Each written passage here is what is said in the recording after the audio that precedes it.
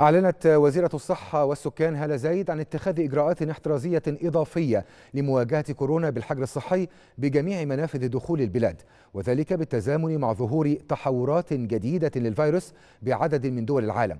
جاء ذلك خلال اجتماع عقدته الوزيرة عبر ال call conference حيث أكدت على تطبيق الإجراءات الاحترازية الإضافية بالحجر الصحي بجميع منافذ دخول البلاد.